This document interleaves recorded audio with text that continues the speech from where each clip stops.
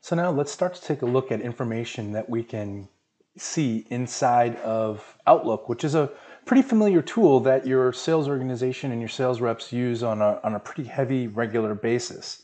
You know, imagine that they're sending out communications, scheduling appointments, maybe creating tasks for themselves um, inside of, of Outlook on a regular basis. So the ability for you to be able to present them with information from your sales system side by side with emails that are coming in is a pretty powerful way for them to grab onto the system and, and really start using it. So what we're looking at here is my standard, you know, Office 365 or Microsoft 365 inbox. And I've got some emails and you can see that they're tracked, um, you know, inside of Dynamics 365. But if I look on this first one, you know, it's indicating that they're about to issue a new RFP and wanted to know if I would be interested in responding. So I received this email, and then you know to the right we can see it's tracked inside our system.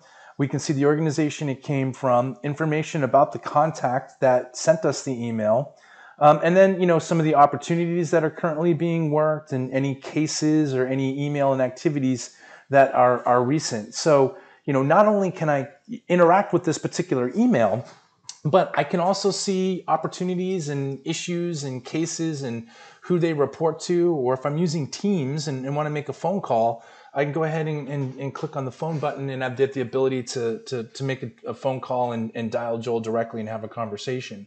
But we can see here pretty quickly that you know he's looking for some some information. So I'm going to go ahead and, and respond to this particular email. And what I want to do is I want to just you know let Joel know that we're interested.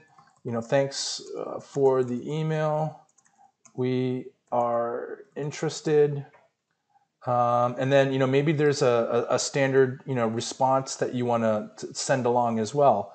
Um, you know, please see um, you know uh, attached information. Right now, one of the things that sales reps love to do is they love to store you know the, the classic PDF files of all the product literature on their desktop. Or they've got to spend time hunting and going out and looking for that information out on your shared drive or SharePoint.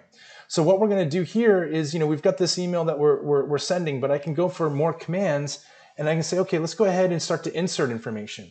I can insert a templated response. So maybe there's a auto response that I want to draft and, and send when I get these types of emails. Um, I can also start to look for knowledge based articles, or I can start to look inside of sales literature. So I'm going to go ahead and grab the sales literature pieces that we have and just go ahead and insert that information.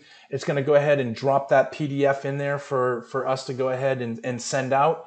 And, and honestly, really quickly, I was able to grab a piece of product literature. I was able to, you know, quickly grab it and, and inside of Outlook and add it to, to the email without having to leave the system.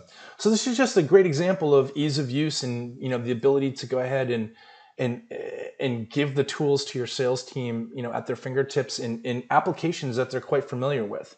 You know, if they're spending a majority of their time inside of outlook on a regular basis you know by presenting them with this additional information onto the side by giving them access to sales literature and, and, and templated responses um, and, and the ability to drill into these records to see what's going on at the account level or to see what's going on in this particular opportunity is extremely powerful we're letting them use the tools that they're familiar with today, and we're just presenting them with more powerful information side by side from your Dynamics 365 sales environment. Now, we just spent a little bit of time going through emails. The same is going to hold true for what we do inside of calendars, tasks, or any contacts that we have inside the system that you know may be belonging to me as an end user.